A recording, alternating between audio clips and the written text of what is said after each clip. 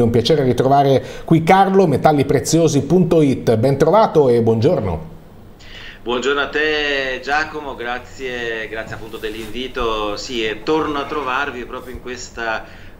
fine estate calda, calda che nei, i mercati eh, continuano a riscaldarla. Abbiamo, appunto hai ricordato tu poco fa ancora eh, il petrolio, insomma in questi giorni, in questo agosto che eh, tendenzialmente abbiamo, lo abbiamo visto molto più volatile un po' in tutto il settore delle materie prime, eh, la Cina che ci ha regalato grandi tensioni e poi anche purtroppo anche, anche l'Afghanistan insomma, sotto, sotto, controllo e tutto questo insomma un agosto non proprio tranquillo e appunto adesso vediamo i risultati sui, sui mercati finanziari. Eh sì, petrolio ma non solo, insomma abbiamo visto anche il Palladio che ha registrato movimenti interessanti, il Platino che si è riportato sotto quota 1000, dollari l'oncia, adesso è proprio a ridosso di questa soglia psicologica ovviamente importantissima. Senti, partiamo dal petrolio allora, cerchiamo un po' di capire che cosa ha generato questa eh, volatilità così forte che lo ha portato a rompere un spartiacque importante che era quello dei 66,5 circa,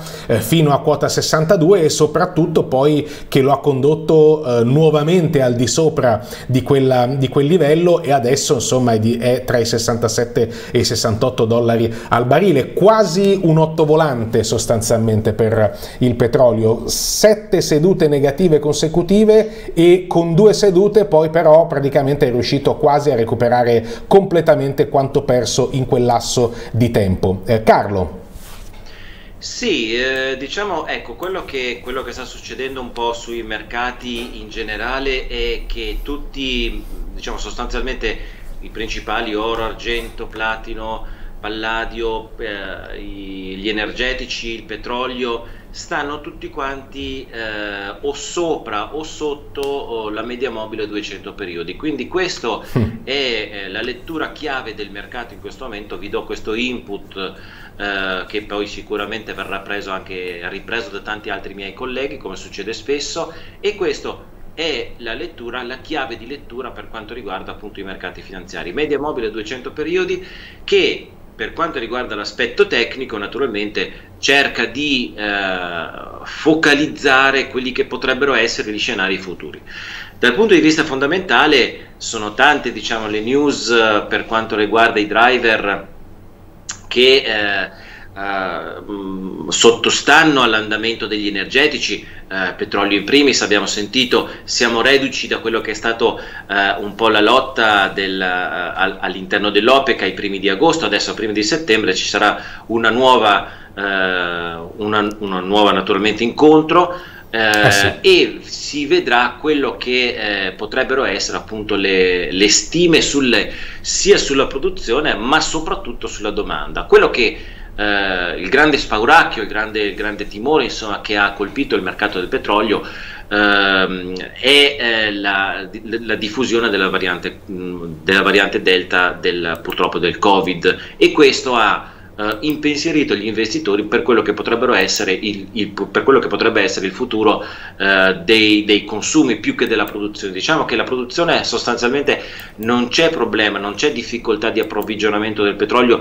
nonostante eh, la situazione, ci sia anche una situazione di backwardation eh, nella stessa struttura tecnica del, del petrolio, però dall'altra parte tutto è concentrato su quello che possono, eh, insomma, su quello che è la domanda di petrolio. Eh, abbiamo visto che ormai la driving season americana eh, è ormai anche importata in Europa, insomma, eh, diciamo che tende a, a rientrare, insomma, quindi i consumi di benzina e di gasoli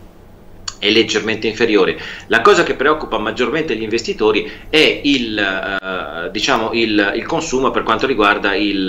eh, il, jet fuel, cioè ovvero il trasporto aereo. Molte compagnie aeree hanno limitato eh, o comunque diciamo non viaggiano a pieno carico e limitano eh, gli spostamenti, eh, nuove chiusure, l'hai anticipato tu prima, insomma, eh, nei paesi eh, orientali, quindi ecco, eh, Nuova Zelanda e Australia mi pare che eh, siano un po' nuovamente sotto pressione da questo punto di vista. Vero. Tutto questo appunto per spiegare questa discesa del petrolio. Dall'altra parte eh, l'aspetto tecnico, l'avevamo ricordato anche in precedenza, il raggiungimento della, zona dei 75-76 dollari per barile per quanto riguarda il crude oil era un obiettivo tecnico abbastanza importante, quindi ecco che eh, state, c'è stata questa, queste prese di beneficio. In ogni caso il, diciamo, il mantenimento al di sopra dei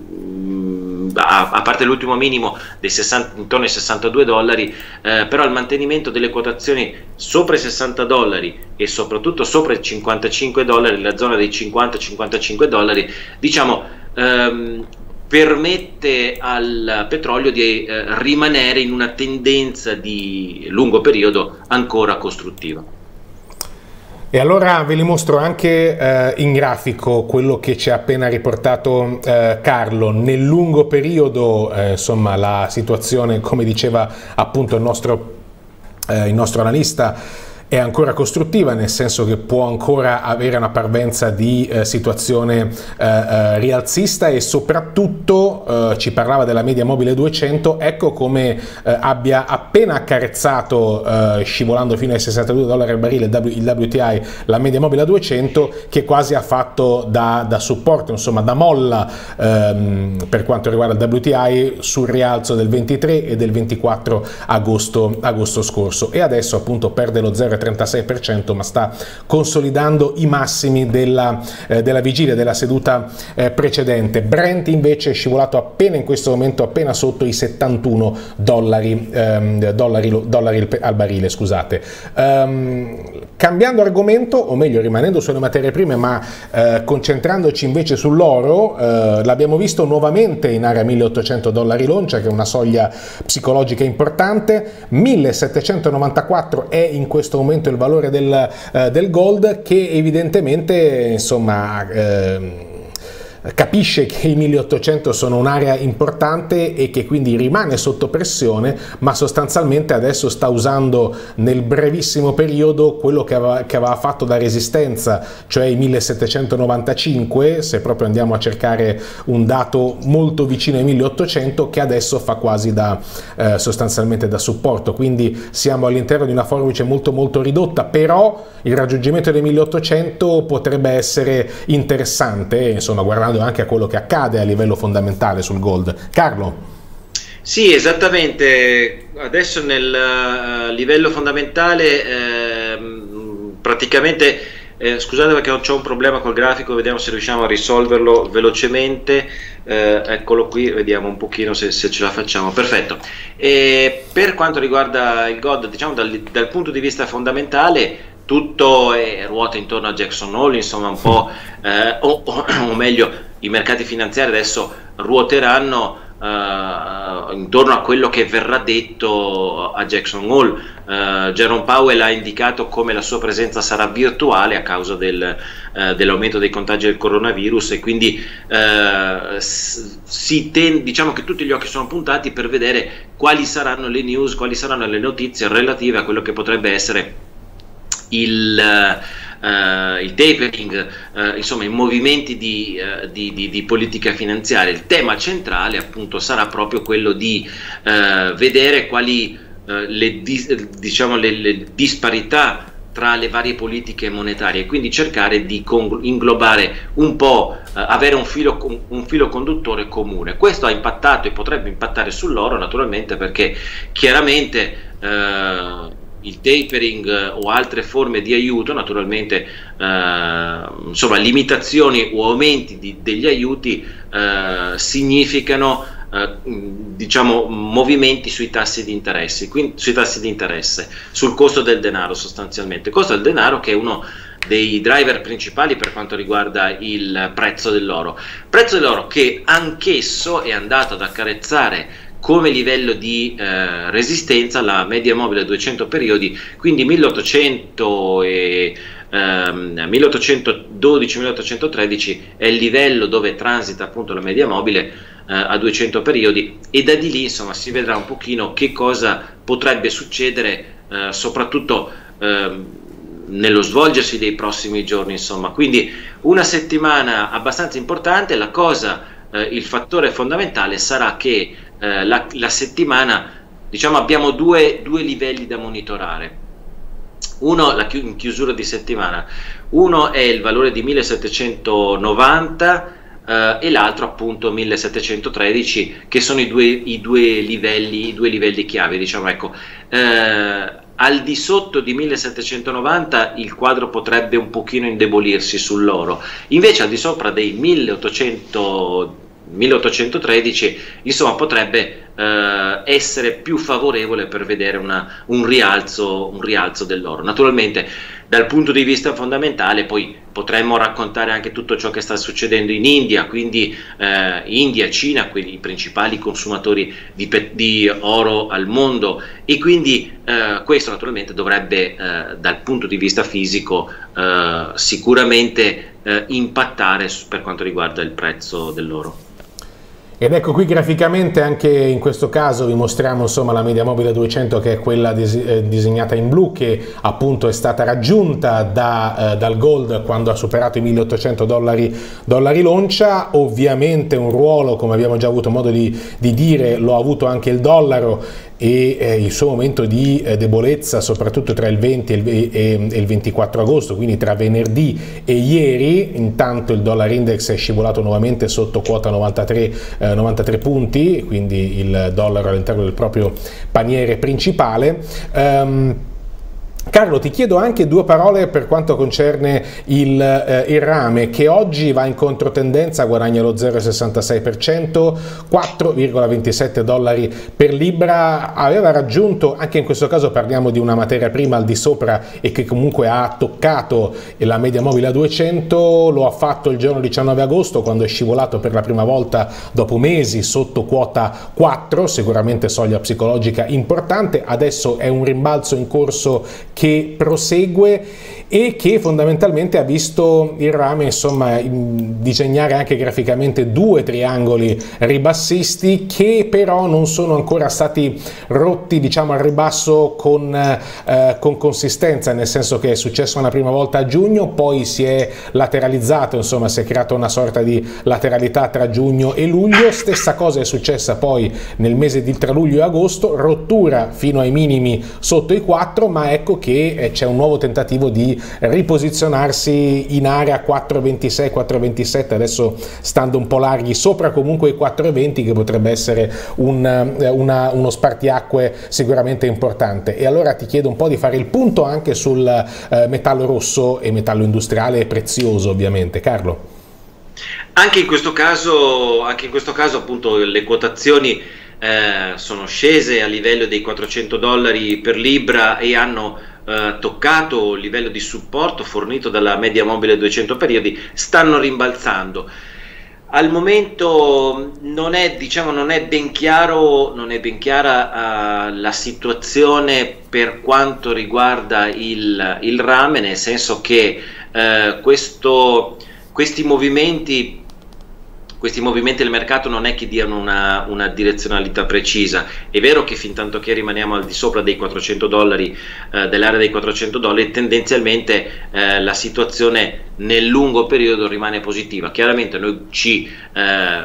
diciamo, vediamo anche il più breve periodo, ovvero anche eh, il giornaliero, vediamo uno schiacciamento del, della volatilità, le, le, candele che sono sempre eh, con un corpo sempre più piccolo, quindi eh, qualcosa bolle in pentola. Dal punto di vista fondamentale ehm, l'aumento dei casi Covid in, nei principali paesi produttori, eh, Cile, Perù, eh, sembrerebbero o meglio ancora, eh, diciamo che questo eh, potrebbe limitare quelle che sono le, ehm, la produzione, anche se il, ehm, diciamo che il, il, mercato ha segnalato che si, il, comunque c'è un leggero surplus,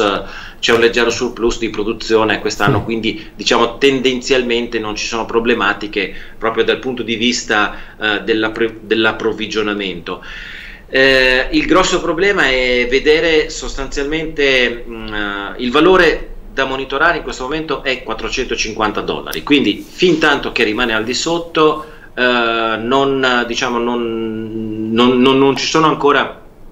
chiari segnali di rialzo Dall'altra parte, se dovesse scendere al di sotto dei 400, quindi 50 dollari eh, di range, eh, naturalmente le cose potrebbero cambiare e eh, i venditori potrebbero insomma eh, cercare in qualche modo di alleggerire le posizioni long, naturalmente. Per quanto riguarda appunto eh, il mercato dei futures, eh, gli operatori cercano ancora posizioni di mantenere le posizioni long. La Cina è quella che fa un po' la padrona insomma, in questo settore qui eh, perché è, una, diciamo, è, quella che in questo momento sta cercando in tutti i modi di, eh, diciamo, di dare delle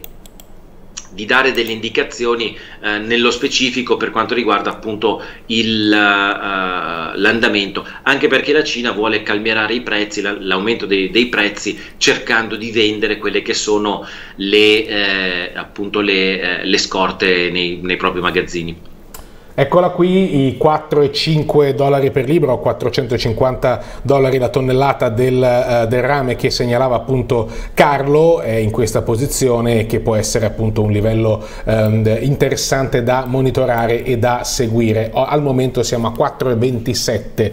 uh, per il rame, come detto più 0,64%. Um, prima di salutarci Carlo, noi abbiamo anche titolato insomma che tra i metalli industriali è stato impressionante il salto del palladio che ci ha in realtà anche abituato a grandi movimenti, insomma è un metallo industriale, mi correggerai se sbaglio, eh, che in più occasioni ha mostrato di essere soggetto a grande volatilità, qui vedo un 17 giugno un meno 10,9%, poi la, la risalita anche nel, in un lasso di tempo abbastanza breve e poi ulteriori candele rosse piuttosto importanti a cui poi seguono anche candele verdi eh, davvero notevoli anche a livello di volumi. Ed è il caso del fatto che appunto tra ieri ieri e l'altro ieri si è andata a guadagnare quasi l'8%, l'8%, diversa la situazione del platino che invece al momento sta un po' bisticciando attorno ai 1000 dollari, ehm, dollari eh, eh, l'oncia. Um, ti chiedo appunto in, in maniera molto sintetica di, di, di raccontarci un po' quello che accade su questi due metalli nell'ordine che preferisci, insomma.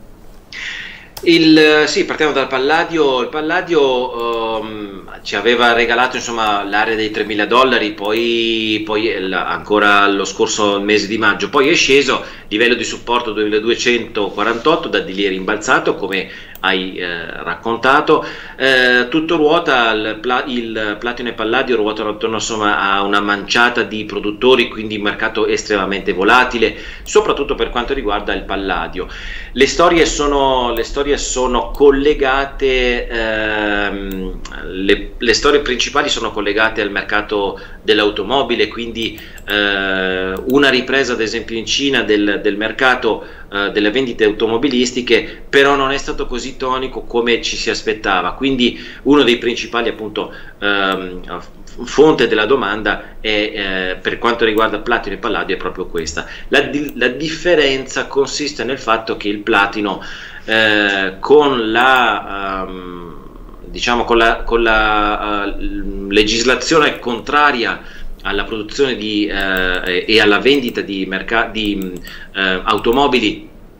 a combustibile entro il 2030, eh, la conclusione insomma, della, della vendita di, di, automobili in Europa a combustibile fossili, eh, insomma ha raffreddato sue, le sue velleità rialziste, avevamo visto il platino insomma un bel rialzo eh, molto cospicuo, al momento siamo a circa 800 dollari eh, di spread tra il platino e l'oro, quindi questo insomma è molto ampio. Ci potrebbe essere un rimbalzo. Per entrambi i metalli eh, anche eh, ormai potremmo diciamo un po' titolare questa puntata la media mobile 200 periodi. Per entrambi questi metalli siamo sotto questi, questi valori indicati dalla, dalla media mobile quindi ecco potrebbe essere che eh, ci siano Uh, al di là della situazione di ipervenduto, io vedo il platino ad esempio sembrerebbe voler essere in un doppio minimo, quindi voler, voler, riprendere, ma al di là di questo naturalmente sono molto collegati a quelle che sono le politiche ambientaliste e quelle che sono naturalmente le vendite di automobili. Eccolo il doppio minimo di cui parla Carlo, siamo in area 960 circa, è rimbalzato due volte su questo, su questo punto, eh, diciamo con i 1030 che hanno fatto sostanzialmente da, da, muro contro cui è rimbalzato al ribasso una prima volta, adesso evidentemente potrebbe provare a eh, ehm, attaccare nuovamente questa, questa, soglia. Il canale al momento è ribassista del platino dal, da febbraio fino, in, fino, fino a oggi, ha, messo, ha provato a mettere sotto pressione la, il supporto dinamico eh, in quattro occasioni, lo ha fatto a marzo, lo ha fatto a giugno e lo ha fatto poi appunto ad agosto in un paio di occasioni, ha sempre tenuto, mentre una sola volta, anche se in una, eh, in una fascia diciamo di tempo più ampio, quello che va tra l'ultima settimana di aprile e eh, i primi 20 giorni di maggio, era riuscito anche a superarlo al rialzo, insomma questo canale ribassista per poi tornare all'interno appunto del, di questa ehm, di questa fascia insomma, che abbiamo identificato e eh, vedremo insomma, se appunto complice la ripresa che determina tra le altre cose immediatamente eh, una, dei segnali importanti sul mercato dell'automobile insomma permetterà appunto al Platino di eh, tornare a mostrare i muscoli come ha fatto il Palladio e come abbiamo titolato questi, eh, per, questo, eh, per questo argomento e come ha fatto il Palladio insomma in questi ultimi due giorni. Seguite Carlo Vallotto su metalli-preziosi.it e sul suo canale Telegram per tutti gli aggiornamenti. Carlo, grazie per essere stato qui con noi, buon proseguimento e eh, alla prossima. Grazie, grazie, a voi, un saluto a te eh, Giacomo, grazie a tutti, buon, buon proseguimento.